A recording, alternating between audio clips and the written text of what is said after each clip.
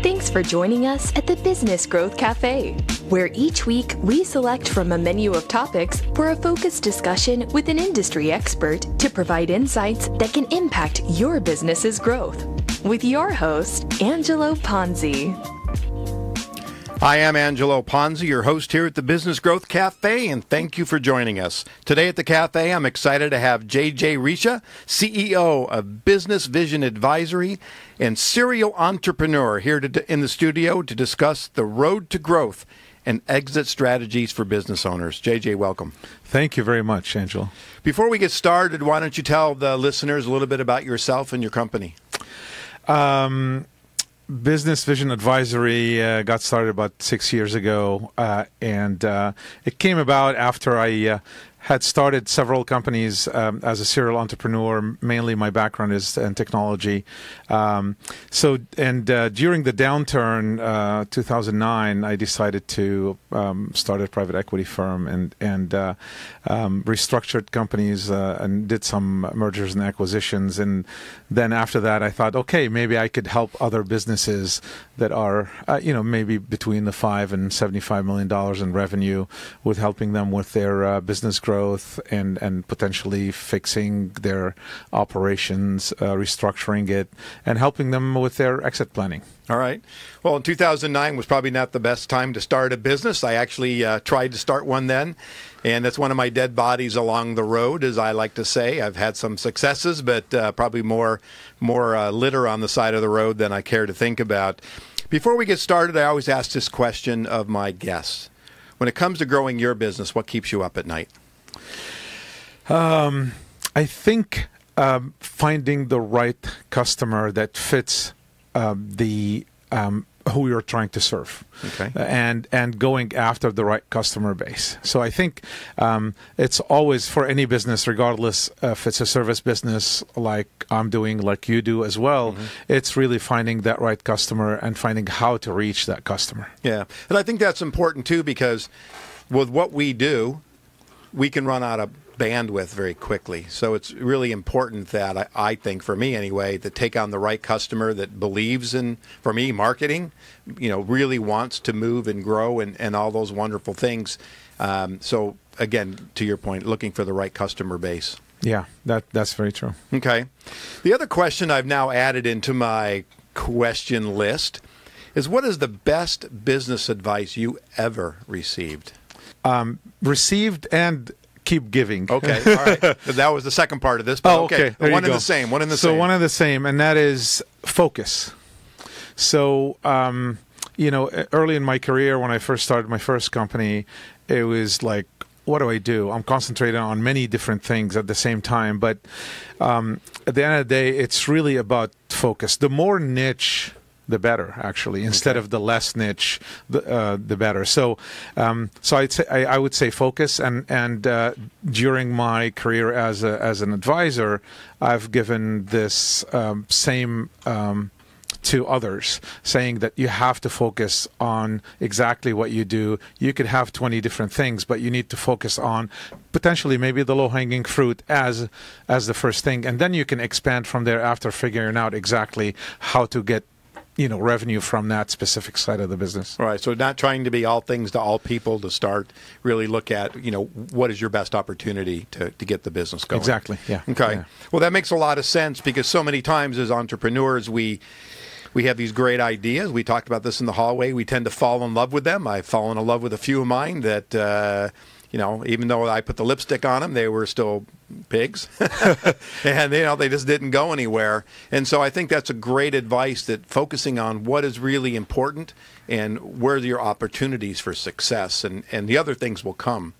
Yeah, very true. And I, I can tell you, I, I a lot of time uh, not only with mature companies helping them with their operations, but I spend a lot of time with startup companies as well. And uh, especially on the startup side, they just want to be the solution for everything yeah. and and you can't be you have to focus and you have to really kind of really laser focus on exactly what where's where is the pain in the market and and who could really use your solution in order to solve their pain right and i think that's that is absolutely the key is understanding how your solution solves a pain for their clients and understanding it's not necessarily the, the specific client you're selling the product to, but how do they utilize it to helping their clients grow, That's right? very true. Yeah, Very as true. opposed to, hey, my product's great and wonderful, and I'm beating my chest here if you're not watching the video. And we forget that ultimately it's not about what we do, it's about how we help our customers. Yeah, very true. So I'm going to segue into this. You uh, and a different show uh, on uh, Critical Mass for Business. I'm always luck happy to give my friend a plug. you mentioned you've had 10 businesses um, and you've had three successes. So tell me a little bit about your dead bodies, but also about your successes, and maybe pick one one success, one not success, and for the entrepreneurs in the audience that are listening, you know, some advice that comes along with that. Um, so it's interesting. I'm going to go back to focus. Okay, so one of the companies that that I started, your lack thereof. yeah, or lack thereof. Uh, so one of the companies that I started uh, with someone uh, who was very successful at um, uh, starting uh, another business and taking it to to an exit.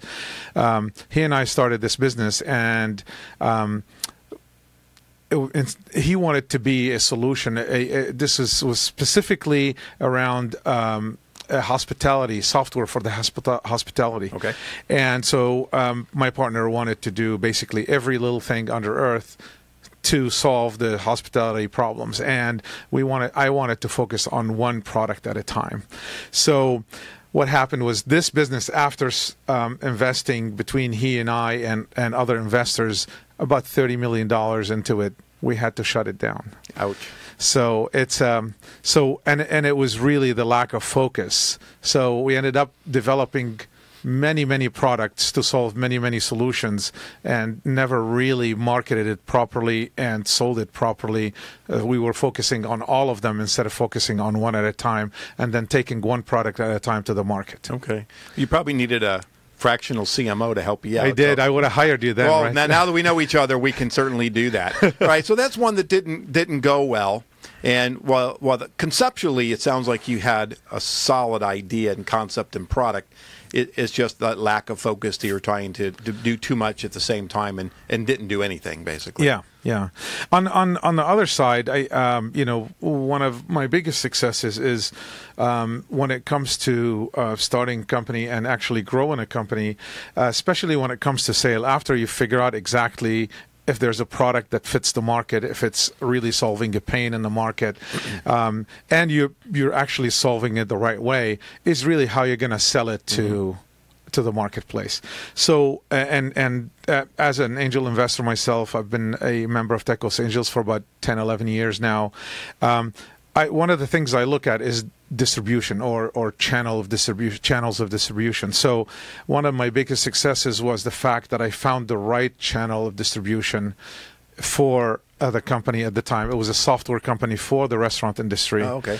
And the channel of distribution was uh, the um, the resellers that sell um, uh, point of sale systems. So they became our resellers, and that's how we grew from being, um, you know, here in Orange County to being, uh, you know, to having a national and international presence as well. Okay. So when you were doing that planning for this this go around, did you do market research or how did you instead of rushing out there with your own software product, knocking on doors, trying to convince I'll call it restaurant chains or whatever Right. to buy this, that you came to the realization it made better sense to package it with a POS system and go in through that channel. Yeah, it's uh, it's it came the hard way. That's the only way I can explain it. Okay. Initially, again, I was it was my second or second company starting, um, and and I didn't know very much, but it took me about three years to figure out exactly the right way to do it. But then I learned a lot from there. But it is. Um, it, it was it was a very painful experience, not knowing exactly what to do, how to go after the right channel. But um, we were knocking on doors, and that's what we did for a long time. We knocked on doors for about three years. A lot of persistence. yeah, and, and, and then and then it was proven that it's really not the right way to do it. And and then the right way to do it was figuring out one day that it's really the integration with the point of sale system was the right thing to do, which opened the doors for their resellers to sell our products as well. Okay. So all of a sudden you had a massive distribution channel Influx. that was already that was already built for you. Yeah, Yes. I love it. I love it. Okay, was that your favorite business of your That's three? probably my favorite. Your yes. favorite. Yeah. Okay. Uh, and all three of yours, or all ten of yours, however you want to look at it, were all based around technology of some type. Uh, technology of some type, software, e-commerce, web. Um, yes. Okay. All right. So, somewhere along the way, I think you said it was about six years ago, you started Business Vision Advisory, Yeah. which is very different than your other 10 companies. That's right. So, why did you decide to flip it to a consulting service as opposed to jumping back into the. So I, I found out that uh, you know I'm kind of you know I learned a lot from starting these companies. Um, at, you know, uh, operating them, growing them, taking them, taking them to the next level. Especially the three that I had an exit. Uh, the others I learned a lot from. So, so you end up learning from uh, the pitfalls as well. And um, it seemed like uh, I could lend my experience and my knowledge to other businesses that are uh, potentially that need such help, and it's been satisfying. Okay. Yeah, you, you know, I I- and I'm not sure if I've told you this story, and, and my listeners have heard it, but you're going to hear it again. uh, my first business I started at 23, and my business failed at 23. so I made it about eight nine months before the thing imploded. But that eight or nine months, I learned more about business than I ever did in school. Yeah. Um, and and so from that, you know, really propelled me. And my next business came along seven years later, and that's the one I got to grow and, and eventually sell.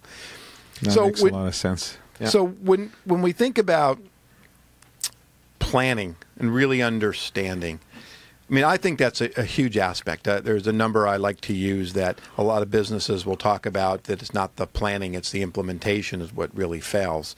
So when it comes to planning, and, and sounds like with you and your consulting, you're really also not only involved in the operational side, but also about the planning side and looking long term. So talk a little bit about your belief in, I'll call it the annual plan, but I don't think it's annual anymore. I think it's an everyday plan. It's it's a non-stop plan. Yeah. So um, uh, part of what I do, I mean, you, you do a strategic plan. You have to you have to look at what you're doing in the next six months, year, maybe two years, and three years, and, and especially if someone is trying to potentially sell their business or maybe transition uh, the business to someone in their family or maybe their employees, etc. So you have to have the right plan. And and part of what I do, in addition to doing the right planning, um, call it strategic, call it whatever you want. There's there's got to be a plan.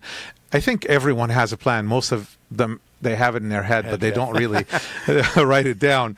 But um, it's it's really the con- the execution that comes along after that, and I think. Uh, just based on my experience and rolling up my sleeves and working with these entrepreneurs and business owners, um, I see most of the time that the plan that I put together, or maybe it was put by them before and they're trying to execute it, it doesn't really work all the time. Mm-hmm. So you have to pivot on a regular basis. You have to keep changing, recorrecting, and figuring out really what's the right thing to do in order to get to the next level. And as, you, as soon as you figure that out, that's when you go and say, okay, we know now what works, and now you put a real plan that kind of takes that to the next level. Well, I think too that as we've talked with entrepreneurs, especially because they fall in love with it. I, I was doing some consulting work with this uh, young entrepreneurial group out of uh, UCI, where I'm an uh, expert and resident. Yeah. And when they were describing their product and service, I mean, I immediately had questions. And so when I started to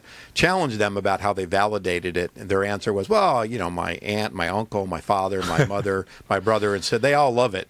Well, yeah. And they, they were very resistant and really trying to go outside of where they thought they already validated. And unfortunately, it, what came to fruition, which I thought was going to happen, is that you know the thing died in about six to eight months. And and so I think that that importance and that planning is to really step back for for you entrepreneurs that are listening, is you've got to take it out of you, right? Get outside perspective, whether you're hiring people like us or whether you're using other counselors, but you just can't talk to friends and family because you're not necessarily going to get the real answers because they don't want to That's true. They, they don't want to hurt you. That's right. yeah, yeah. So you mentioned exit planning, and, and so we're going to segue into that. So you get involved with, with not only from the operational side, but also from the operations and helping to build valuations and really set up those exit strategies. One the uh, a piece of research or an article that I read not too long ago, it talked about preparing for exit, and it and the article said, and I'll read it said, uh, on average, it take one to five years to prepare. Two to three years if it's a third party, three to five years for family members, or three to five years for an ESOP. Now, I don't know if those are right or wrong in your experience, but when someone really thinks about exit, it isn't like, hey, by the way, I woke up this morning, I think I want to get out of my company, right? So, how do you counsel people that the kind of the preparation and the time it takes to really plan for them to exit? So most of the time they do get up in the morning okay. and they say, "I want to sell." I'm done. I'm done. I'm done. uh, and, and, most of the time, uh, really, when they when they come to that decision, is because uh, they've been doing it for a long time. They're tired. It's exhausting. Company's not running very well, and they just want to get out. And uh, at other times is because they uh, they they think that their business is worth much more than they think it is, right. and they want to to sell it. And and um, but at the end of the day, when it comes down to it, most of the time the business is not worth as much as they think it is. Second is um, if you know, if they end up fixing it, um, and they sometimes they may not get to a point and say, "I want to sell it." Okay, it's fixed now. It's actually generating revenue. It's generating okay. profits, and then maybe I don't want to sell it.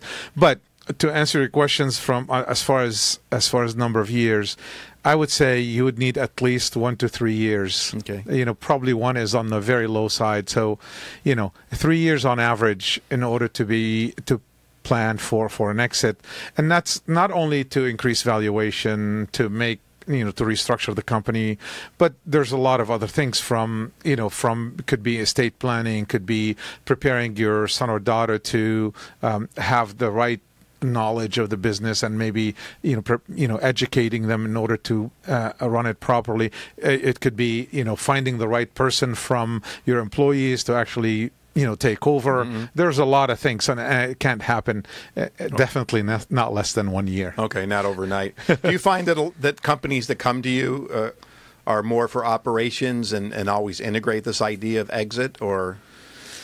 Uh, I, I, would say it's really all over the place. All so, so um, you know, it it comes down. You know, sometimes they don't know what they don't know, and, and uh, I think the the most successful business owners and entrepreneurs are the ones that find uh, finally find out exactly what they know or what they don't know and and get the right help so sometimes what happens is um, uh, you know they they bring me for operational or to help them restructure fix mm-hmm. their company but then i need marketing help and so I call on, on someone like you saying, "Hey, look, we need marketing, we need sales help, we need, you know, a CFO to help with the financing as well." So, so there are a lot of things that are involved, but I go in there with a fresh perspective, looking at, at really everything in the operations. Well, that's really why the companies hire us because we bring a different perspective. Yeah, exactly. The um, so when when you're looking at from an operational standpoint, I mean that could get into everything from supply chain to pricing to uh, internal operations to capacity. You know, you could do a great job and sell a whole bunch of stuff, and then you don't have the capacity to actually deliver. So you have to really immerse yourself into an organization. So let's talk about kind of a perspective, if you will, your perspective in giving advice to people that that are looking for increasing their valuation, but if I was going to do a top 10 list or top five list of things they should look at, what would some of those be? Um, well, first is uh, the one thing, especially if they're trying to exit, right? Uh, from that perspective, first they need to, um, you know, find out if when they sell that company is is the is that money that's going to come in is it going to be enough for them to retire if that's what they're trying to okay. do so that's one thing. Second um, are they trying to pass this down to their children or maybe to uh, employees? And is that something important? What are they going to do afterwards? You know they have to plan what are they going to do after selling that company. And i think that's part of that's again those are non non operational stuff but more of what's going to happen if they sell it. Are they, are they trying to preserve you know if it's a large enough company um, uh, to, to sell are they trying to preserve family wealth to pass along to their children maybe grandchildren that's something else well, are they uh, looking at doing maybe some nonprofit uh, you know work where they're, um, you know, um, giving some money to uh, nonprofit organizations to help them to help with something they're passionate about. So there are a lot of things that that the the business owner needs to think about. Uh, what happens after the sale? Right. Most of the time, they just want to sell, and they don't think about what happens right after. don't play so much golf. Yeah, you can only play so much golf. Okay, well, I think we're uh, coming down to the last couple minutes here. So, last question for you before we sign off. There's a lot of things that drive business growth, and there's a lot of things that hinder it. So, as a business advisor and a business owner, in in your observations and experiences, where do companies really typically fail and go wrong? Oh, What- and, and, and what's that advice? To, uh, we'll co- combine it with the advice. Um, that's that's a really hard question because you know it, it, it could be all kinds uh, of of reasons why a business may fail, but um, I would say most of the time uh, companies fail because uh, they don't understand what their customer needs are customers needs are. So they they have a product or a service and they say if i build it it will sell. And most of the time that's not really the case. Right. what happens is um, you get to you have to really understand exactly what your customer needs and then follow on. So most people they just sell it's a transaction. Instead of building a relationship with the customer with their customer base they just sell and move on. But they need to do a lot more than just selling and making sure that they just have the revenue. They need to make sure that the product is really serving their customer it fits their needs and it's solving whatever solution they're trying to solve. Right. and and uh, so i guess understand your customer would be my my advice Okay. understand your customer understand your customer base and and craft mold your solution service or product to fit exactly what they need and make sure that you go back and understand that you know if if it's really working for them or not Okay. Well, I'm, I'm glad to hear you say that because I am a, a big component. Component Proponent. proponent. Thank you. I got, I got tongue tied there for a second about understanding your customer because I, I think between either market research or whatever it happens to be, a lot of organizations just don't truly understand. I get, oh yeah, I know their job titles. Well, that, that's not really understanding your customer. Yeah. So anyway, well, thank you for that. I think we're down to the last few seconds here. So JJ, thank you so much. Why don't we tell the listeners how they can contact you, your website, all that good stuff? All right. Um, you can reach me at uh, businessvisionadvisory.com. Again, businessvisionadvisory.com. And you can reach me by phone at 949 419 6924.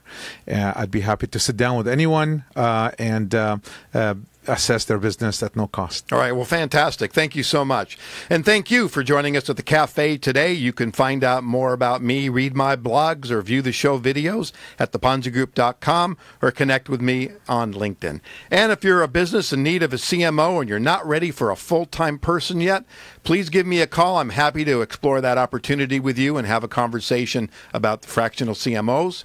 And please subscribe to the show at the Business Growth Cafe, or we are now on iTunes, iHeartRadio, Google Play, Spotify, Stitcher, SoundCloud, and Spreaker, and coming soon to many other platforms around the world. Join me next week for lunch at the Business Growth Cafe. Thank you for listening to today's discussion at the Business Growth Cafe with your host, Angelo Ponzi. Take a moment to subscribe to this podcast and visit our website at www.businessgrowthcafe.com. Read Angelo Ponzi's blogs at www.theponzigroup.com.